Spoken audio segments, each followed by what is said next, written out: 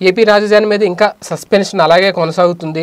గతంలో ఏపీ రాజధానికి సంబంధించి రాజధాని ఏర్పాటుకు సంబంధించి ఎన్ని వేల ఎకరాలను భూములను సేకరించారు అప్పుడు ల్యాండ్ పూలింగ్ విధానం ఎలా జరిగింది ఇవన్నీ మనందరికీ తెలిసిన విషయం కానీ ఇటీవల కాలంలో బొత్స సత్యనారాయణ గారు రెండుసార్లు చేసిన కామెంట్ల వల్ల ఒక ఆలోచన అయితే మొదలైంది.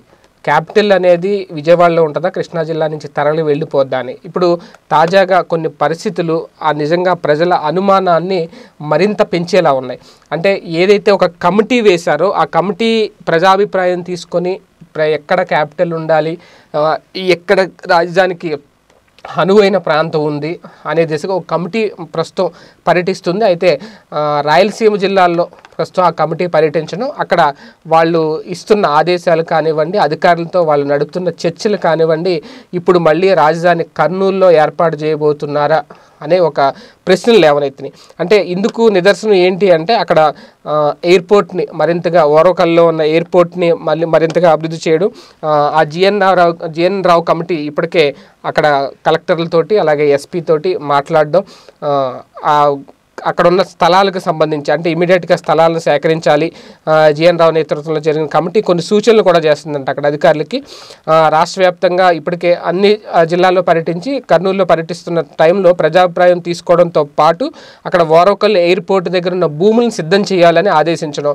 అయితే ఆ భూములు ఎందుకు సిద్ధం చేయాలని ఆదేశించారు? అలాగే శాశ్వత మంచినీటి సరఫరా అక్కడ ఏర్పాటు చేయాలని కోరడం ఎయిర్పోర్ట్ దగ్గరలో. అంటే ఎయిర్పోర్ట్ సమీపంలో భూములు సిద్ధం చేయడం అంటే అక్కడ ఏమన్నా మళ్ళీ హై హైకో హైకోర్టు ఏమైనా అక్కడ నిర్మాణం చేస్తారా అనేది హైకోర్టు ఏర్పాటు చేయడం కోసమే భూములు సిద్ధం చేయమని చెప్పారా?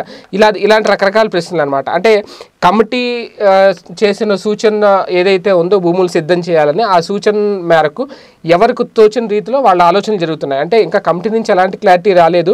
ఏం చేయాలి ఏంటి అనేది.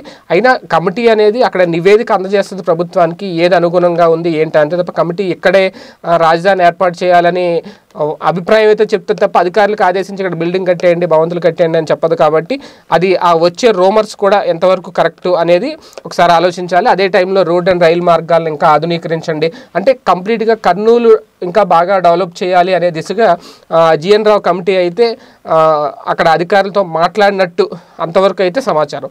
అయితే దాన్ని బేస్ చేసుకుని ఖచ్చితంగా కర్నూలులో రాజధాని ఏర్పాటు చేస్తారు రాజధాని ఏర్పాటు చేయబోతున్నారు అనే ప్రచారం అయితే జరుగుతుంది. అది ఎంతవరకు నిజమనేది అధికారిక ప్రకటన వస్తే కానీ చెప్పలేం. కానీ చూడాలి ఏం జరుగుతుంది. స్టేట్ ఈ వీడియో గనక మీకు నచ్చినట్లయితే లైక్ చేయండి షేర్ చేయండి. మరిన్ని వీడియోస్ కోసం మా ఛానల్ను సబ్స్క్రైబ్ చేయండి.